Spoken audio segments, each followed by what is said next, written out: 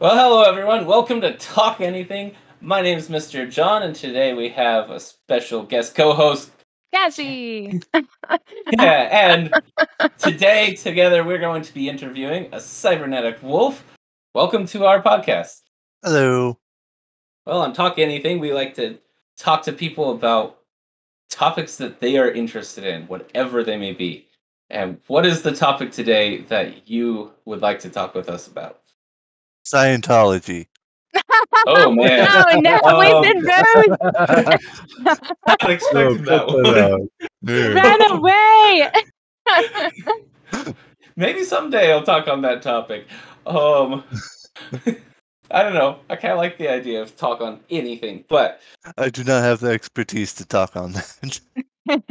no, probably, probably not. I don't either. Which is part of the reason why I'd be interested in talking about it. Anyways, so Wolf, today we're gonna be talking to you about furries, right? What that means. well, furries, uh, the definition goes different from different furry to furry, but the generally accepted term is somebody that enjoys anthropomorphized animals. You said it varies from person to person. How do how would you define it for yourself?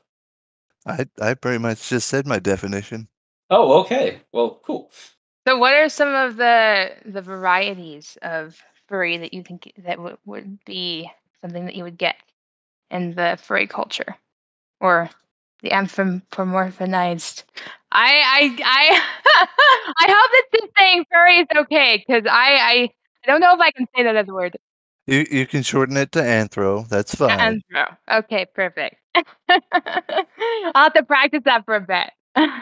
so is it from your perspective is it better to just refer to the culture as furries or anthro or what's the best way to refer to people in what i heretofore have known as furries Well, I use furries and anthros as interchangeably, but Yeah. some people would argue that scalies would not be furries. oh I would consider the furry term with a lowercase f as all anthro animals, whereas Okay. furries with a capital F are furries with fur. okay Mm, mm. that makes a lot of sense so if going forward if you think it's all right i'll i'll continue to refer um the whole culture as furry if you think that's uh politically correct Yeah, that seems all right. So, anyways, a little aside there. I forgot what your question was, Cassie. I don't remember what it was either. It's all good. Okay. It, it was about the subcultures of furries and what Oh, right. there are. Yes. So I'll say it again. So uh, what is um what would you consider part of the culture of furries? Because I know that's a really relatively huge category. So for you, what would that include? I know you talked about like scalies, and I don't like understand what that means. So if you'd like to also explain that, that'd be awesome. Uh, scalies are just furries that have scales or skin. Uh, Mm. the furries that have skin would be like dolphins and sharks. Mhm. So are there any other like categories of like furries that you like rub against a lot, or is that just kind of you? Um, yeah, does my question make any sense? Uh, I'm having a brain fart. Uh, That's it's all right. all good. Uh, Bas- basically, what what are some of the different groups or subcultures that you know of in furries? well, um, there's there's the convention goers. I know that. Um, there's the furs- fursuiters. There's artists and writers and a whole bunch of a whole array of things. Uh, basically, where furries are just humans, but with fur. hmm I gotcha. And uh, well, and it sounds like sometimes it's not that they wear fur, but more they like to draw fur, or humans with fur, or they like to go to events about. Um, Humans. you said fur. conven- Yeah, you said convention goers. Um, could you explain that a little bit more? I've not been to a convention, but I do know that some furries have post-convention depression. Oh, What do you think that's about? Uh, post post convention depression is when you get sad that you don't have any real life furries around you Mm. anymore. Sense. So it's kind of like you go to this convention and you be and you're able to be with all these people that you can really kind of um, be authentic around, and then when you go home from the convention, it's kind of like, well, I don't really have any friends that are like this. So now what do I do with you know the part of me that is a furry? Yeah, that sounds about right. Yeah, that makes sense. That would be really hard. that actually makes me think of the. I know, especially in in the school system, there can be a lot of well prejudice, discrimination against people who are furries, or even insults against people who aren't furries, using furry as an insult. I guess what's your perspective or experience with that? If you're willing to share. Well, uh, I actually got out of high school before I became a furry. Okay. So you skipped a lot of the drama. That's good.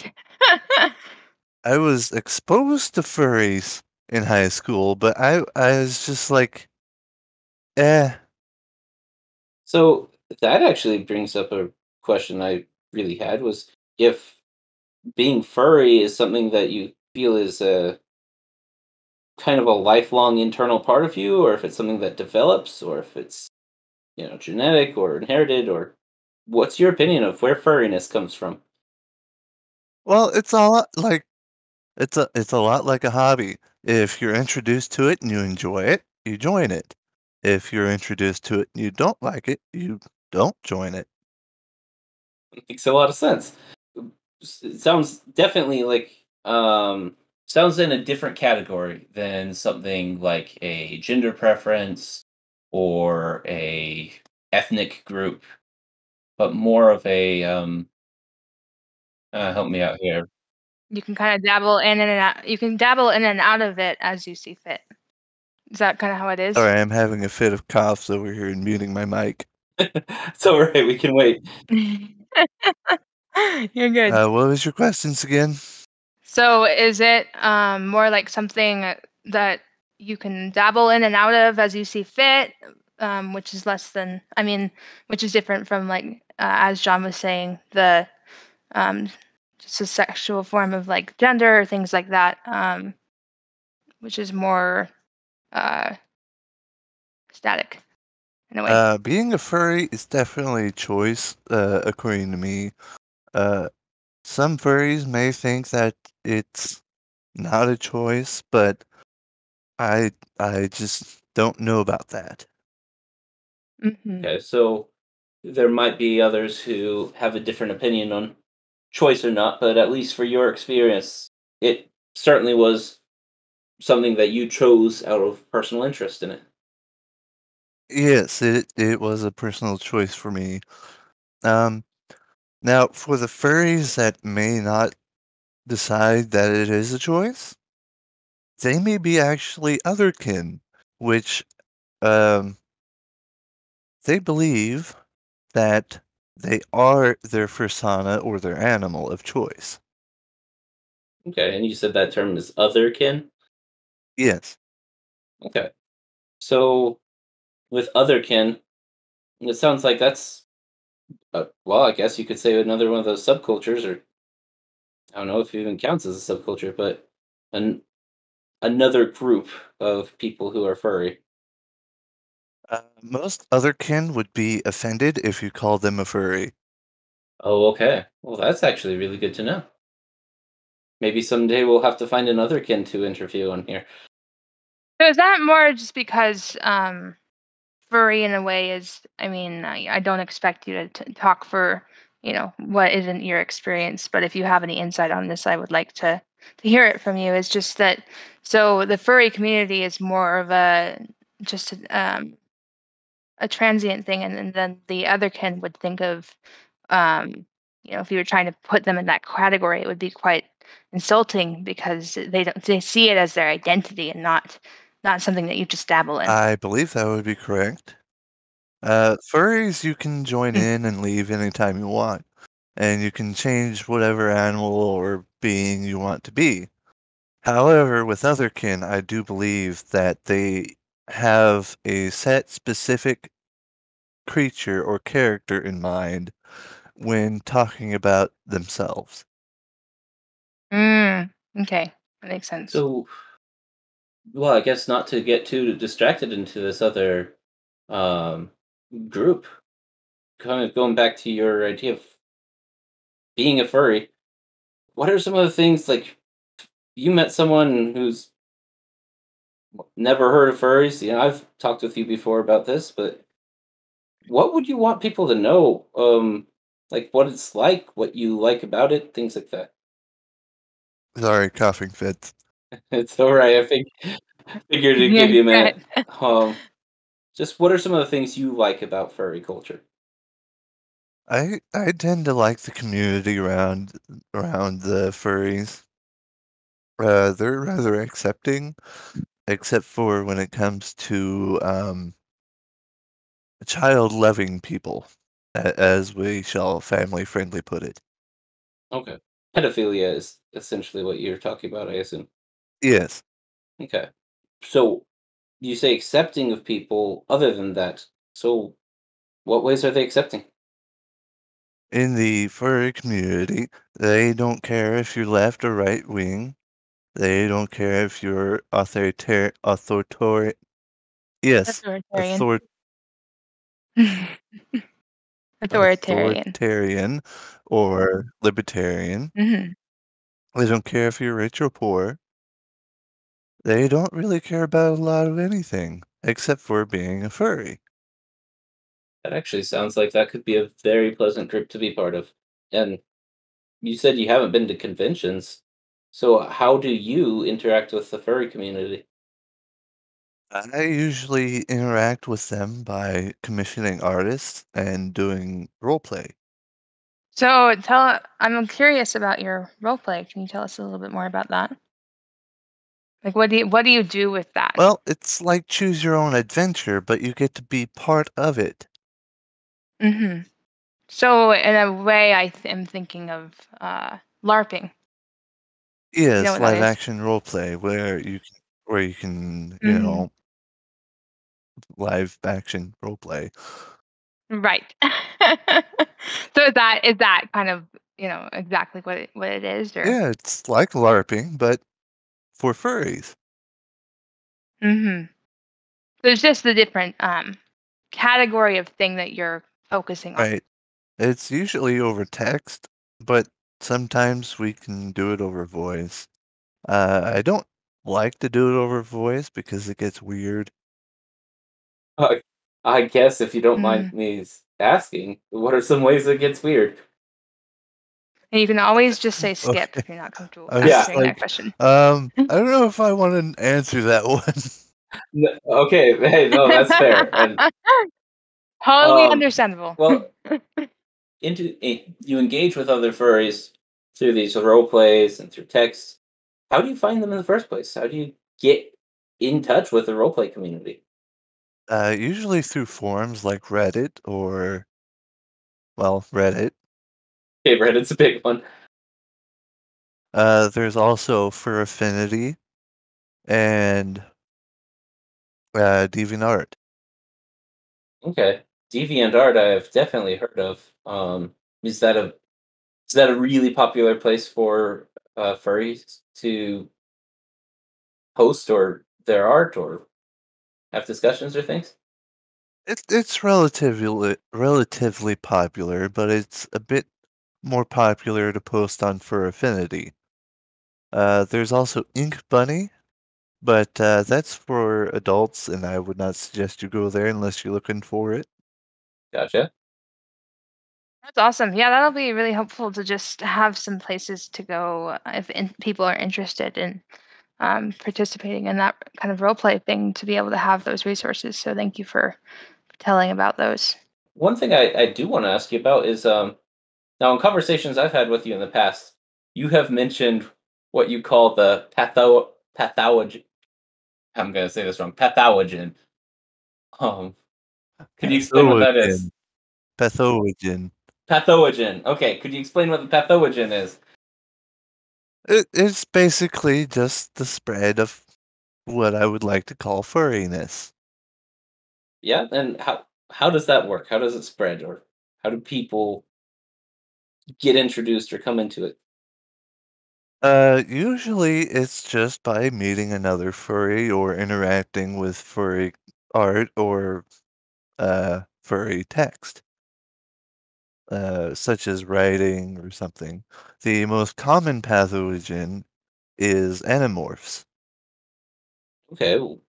Um, was that wasn't that like a a juvenile book series, or am I getting this wrong? Yes, that's that's right. Uh, another one is Disney's Robin Hood, and the latest and greatest is Zootopia. Oh, so Zootopia has been kind of a um carrier for this pathogen. It sounds like. Yeah, that's that's right. So, for you, again, if this is an all right question to ask, how what got you first interested in furry? Well, a friend of mine was doing some art at in high school, and I'm like, "Oh, those are some cool uh things. What are they?" And he he just goes, "Oh, they're they're just animals that look like people. I just draw them for fun." Oh wow! So you liked his art, and then I, where did it go from there? Well, I looked up furries on the internet, and um, I, I was met with adult content. Okay, so that that's I'm sure it's not what you were what you were hoping to find, or maybe the other way around. or maybe it was. So okay, you found adult content, and then you're like, "What? Dang, I like this!" Or I plead the fifth. oh, you plead the fifth. Okay. Now I have seen that you have a, uh, or at least part of a fursuit. Could you tell me, for tell our audience, since I already know, what is a fursona? Well, as I explained earlier, there's um, furries that have chosen characters or animals. Uh, Those specific chosen characters or animals are called personas, which can be wolves, dragons, horses, or any mix of any animal. Some animals are even just straight up aliens, such as a Sergal. S S E R G A L. what is that? Okay. Like, What does it Well, look like? if it's all right, if I can send you an image, I can send you one of mine. Sure, that'd be you know what? You can do that, and if my editing skills have any engagement whatsoever, then maybe I can include that into the um, video. But if not, whoever's listening, um, maybe there will be a video, maybe there won't. Yeah, we can always add. We can always add a link to it. That would be cool. Yeah, so maybe there'll be a link to it in the bottom thing. Yeah, if you could send it to us, and we can we can talk about it for a second. Okay, well, um, here, let me pull mine up. Ooh, Now, this character I made on a base, which is pre-made art, and I filled in the colors for it. Now you said this is an alien-based um, life form. Yes. is there any any other background to it than that or is it just kind of whatever the person role playing chooses Oh, there's a whole lore behind it. Uh, they are they're quite extensive in their lore. do you want to like get into that? I mean, get into that for a second, and just kind of tell us a little bit about it. I'm fascinated. I will be sending you a link. Sounds good. now as far as yourself you don't consider yourself a Sergal what is you your um persona unless you are a Sergal no, um, I I'm a human. Thank you. But my character is a black cybernetic wolf, or a cyborg wolf. and if you're interested in sharing your um, character with anyone else, you're welcome to post a picture of, of your character as well, and we'll we can add that. But that's up to you. Yeah, I would love that. So, question for you then. So, does that mean that I know we spoke about this a little bit earlier, but um, I know this is you know your personal experience and you can't talk to every, everyone, but um, is it pretty common to go up to like a, a furry and just ask like, what is your persona like, or what do you like to dress up as, which would be kind of your is that what your persona would be in that context or Are you asking like the appropriate ways to to ask, or if it's appropriate to ask someone what their persona is? yeah in a way All right, so most furries that are out in the open, uh, as in not closeted, will um not have any outward furriness to them. Um, I have I have a piece of clothing called a collar, and I wear that around hmm so that what so it outs me as a furry. If if you know that you are, if you're a furry, you would know the subtext behind it. But most people think it's just a nice looking necklace. sure Okay, so you have ways for other furries to recognize you as furry that wouldn't necessarily um, expose yourself to people who are not part of that culture. That's correct. It it's more it's more or less subterfuge. Yeah. a way to be able to be authentic while not allowing those who would ask weird questions to to know and i've heard of other groups doing uh, things like this um, if you're comfortable. What are some other ways that you might show or that um, a furry might show that they are in that category? In the uh which category?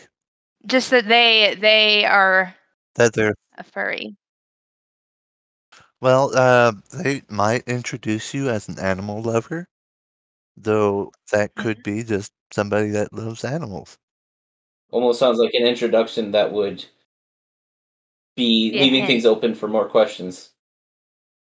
Like, hey, I'm an an- animal lover, and then if you're curious if they're furry, you might ask more of like, oh, in what ways? I don't know.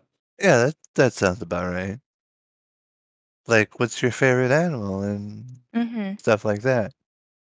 So th- there's the So- collar, and then there's also the um, saying that. Is there is there like another example of that? Uh, some people wear cat ears. Mhm. I'm not particularly a fan of that. And wh- Why not?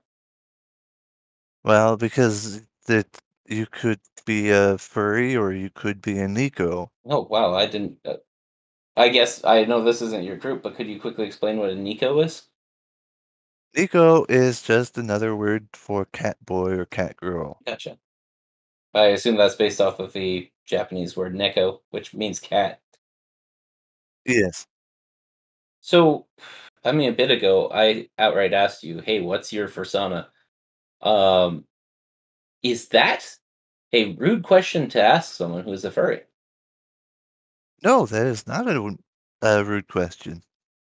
Okay, so if you if I meet another furry on the streets and I ask them, "Hey, what's your persona?" How would how would you expect that they would take that question? A little bit of trepidation because um, most people don't like to um, be outed. Right. Okay. So it's something to something to take with care. Yes, if you are meeting a furry in a convention of some sort and they have a badge on with an animal on them with a little name underneath that or, or above the animal, then you can be like, hey, I see you've got this badge. What's that about? And they're like, oh, well, I'm furry. And we're like, okay, well, what's your persona? Mm. That would be appropriate. Right. The more just allow them to have uh, more control over the conversation instead of jumping right into something that may be fascinating, but it also is something that is more personal to the person. Yes. That makes sense. So it's one of those things that um well like for for me in my conversations with you at least texting online and such you have told me about your first persona and you've um and if i understand right you you're proud of it. It's something that you think is fun and you want to share it, it but it sounds like that can be mixed with other people Right, because uh, most par- some parents, I'm uh, not most, but some, some parents will shun this part of their child or um, roommate or some part, and uh, they may have consequences that can't be seen from an outside view. oh okay so essentially it sounds like sharing your persona is something you want to conceal if the person you're sharing with it sharing it with it's un if it's uncertain whether they are safe or going to respect you but it, if you are in a situation where you know that person is likely to treat you with respect and equality is that a situation where generally people would want to share their persona I would say so, yeah.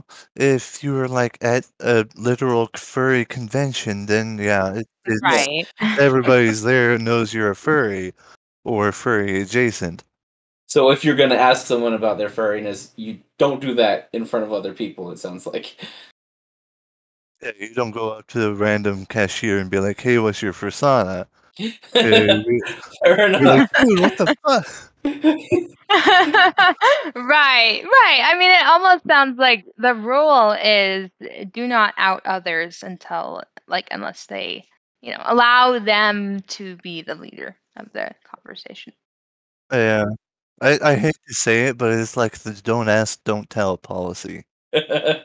Sure. well, Except we, except for me, I really like to tell, so please do ask. so it's Oh, good. maybe less. Because I was. Oh, go ahead. go ahead, Oh, John. I was gonna say ahead. it's less of a don't ask, don't tell, but don't ask unless we tell. Yes, yes, that's right.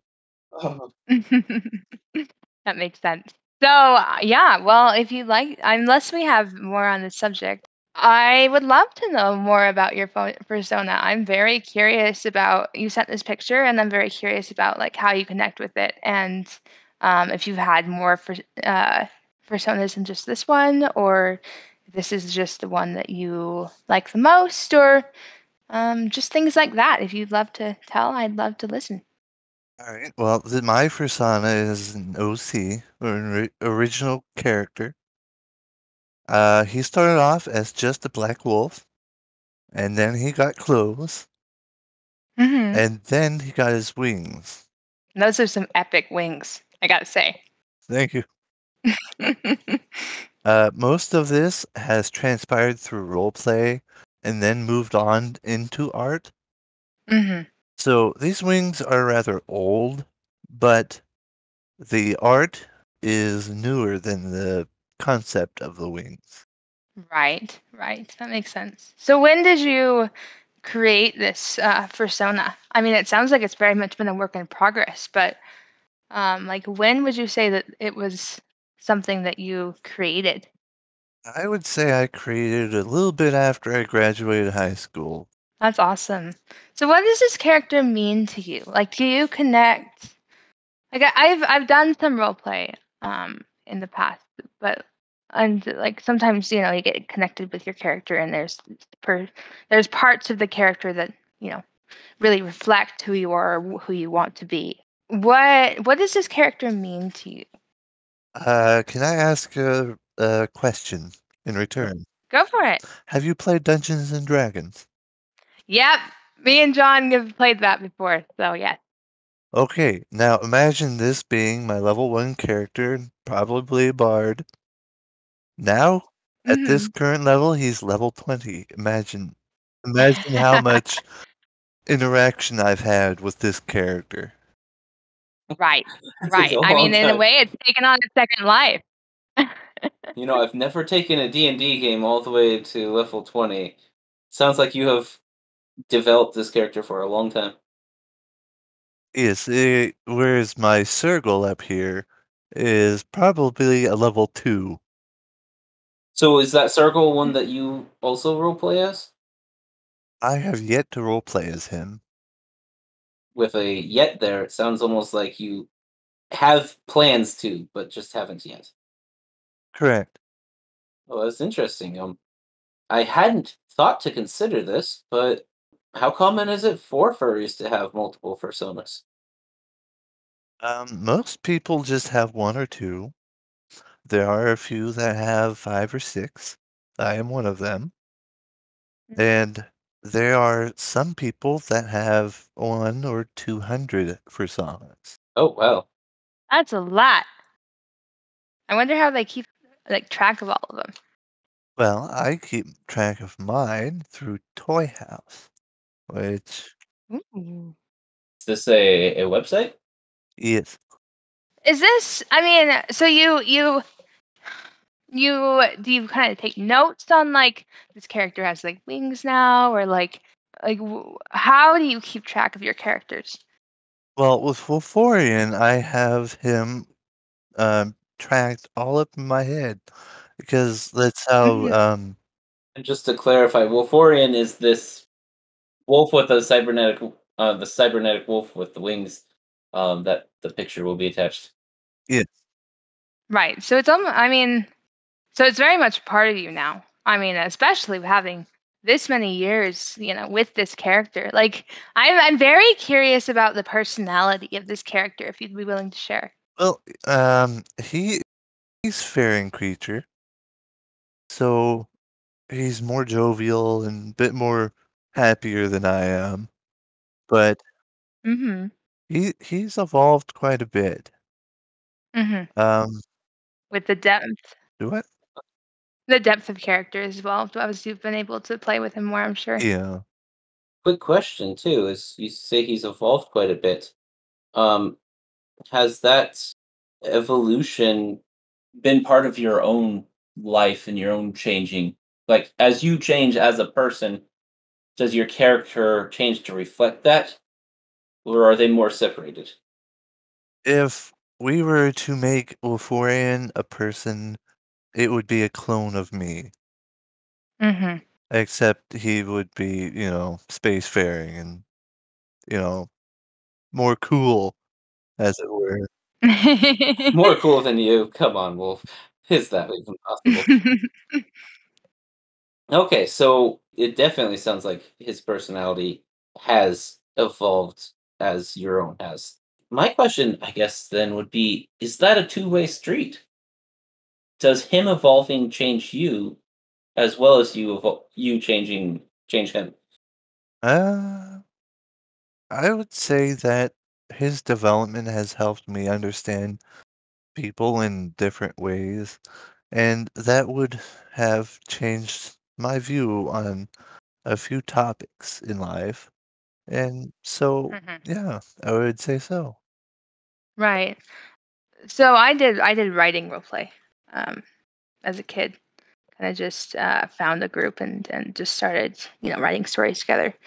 So one of my characters was uh, Natalie, and she was kind of an, el- an elf. And so it, it sounds very similar to what you described, although I didn't get into it nearly as much as you know. It sounds like you have. I think she, I would still classify her as like a level two. She's very underdeveloped, but in a way, like I identify with her characteristics. It's it was really an escape for me to be able to kind of see myself as her when I was young. Um, just kind of imagining like you know what would she do in this situation um, and things like that. Is that kind of how you felt about your character, or Yeah, I would say so. That that would be my that would, that would be Wolforian, the Black Wolf you've seen you've seen.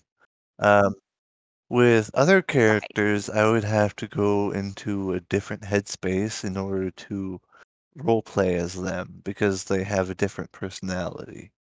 It almost sounds like Wolforian is you, and then you have these other characters that are that may still be parts of you or ways you like to express yourself, but almost like he is a core part of you, and these others are, um, or expressions just either for fun or to express different things that you want to try out.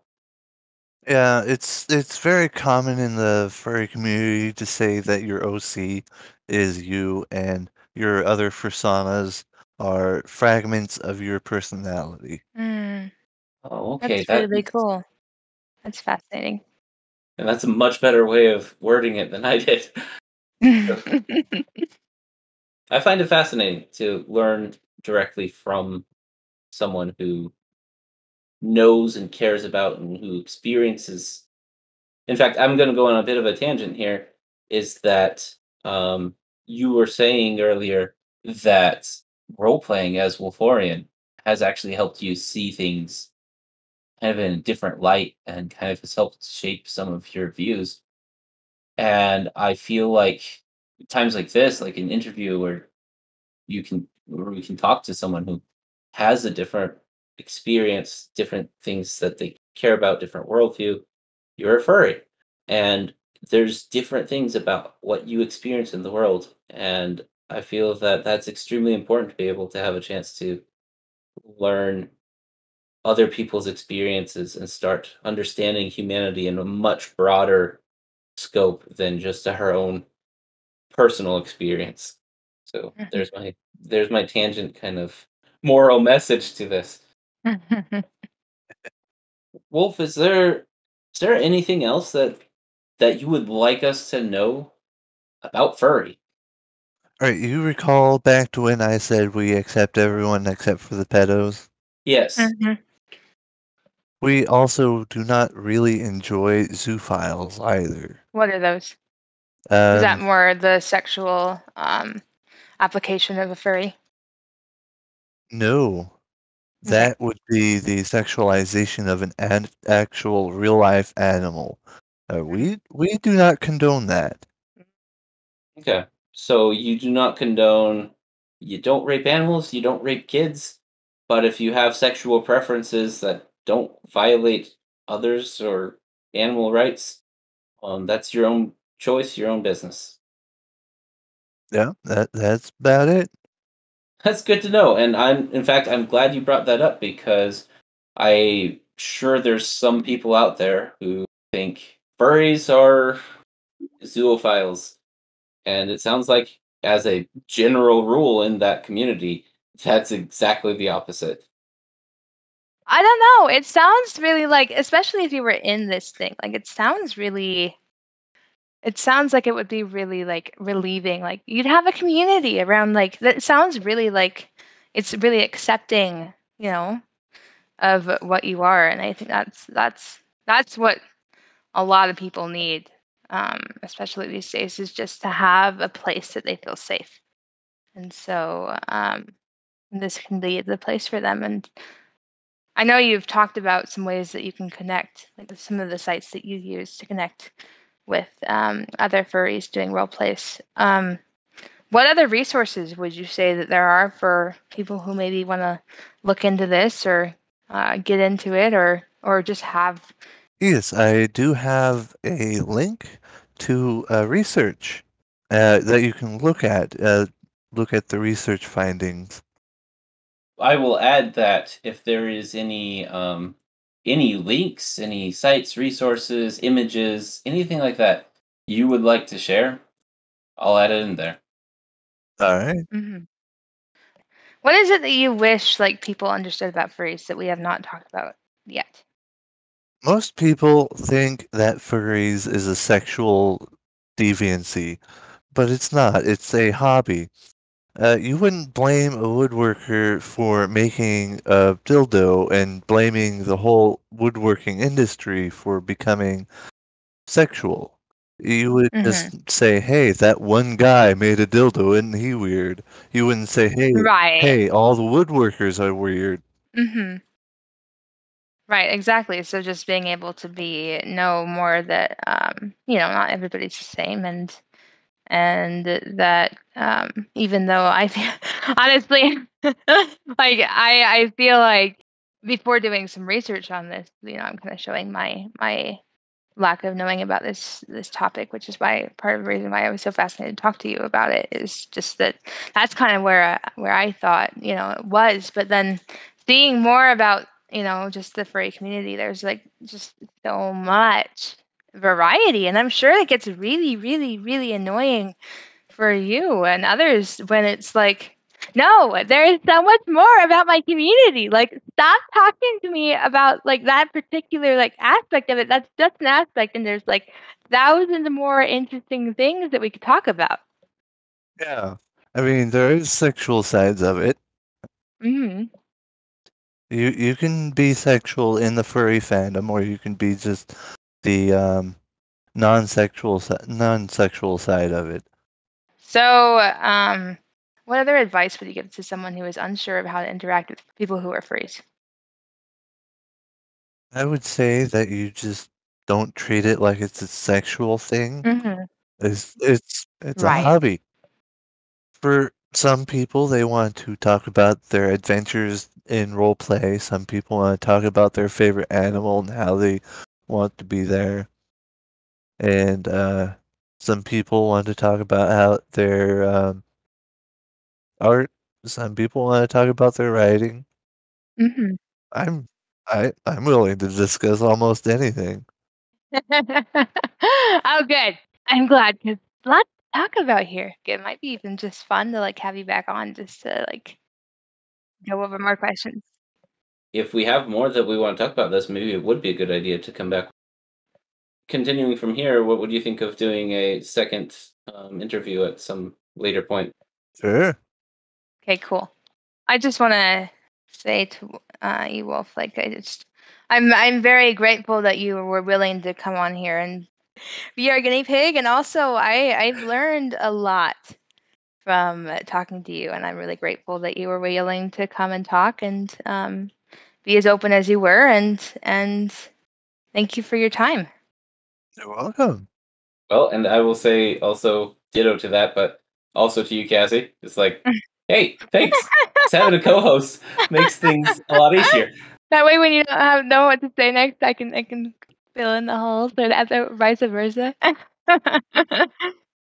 Yeah, exactly. It's it's nice to have two interviewers, and hopefully you will participate in more interviews as we go along. I'm in this for the long run, John. So Oh, are you don't kick me out yet. Don't Oh, kick me out yet. Well, I don't want to overcommit you, so uh, I'm still new at this, still deciding what I want to do. Um, I should say, just kind of a bit of my thoughts about how I want to do this channel. Um, I kind of want a mix.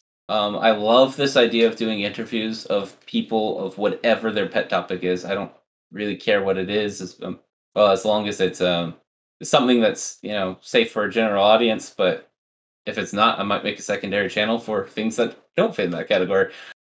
But anyways, um, other than that, though, I also kind of want to be able to just have videos that are just like, "Hey, here's an idea, here's a topic," and just a straight out monologue type thing. Um, I don't know if I'll ever be able to do that myself. I have a lot of ideas I'd like to share, but um, you know, actually saying them and recording them and actually liking what I said enough to keep it. Uh, that's a question mark. But that might be something also I'd be willing to have like others um like if you've got a specific thing where you're just like, hey, I want a video where I'm just saying my bit about something that I think is cool. And I don't know yet what I'm gonna do. I expect to make some short videos, some long videos, some well, whatever. We'll see as we go along. This is brand new it has more chance of going nowhere than it has of going anywhere.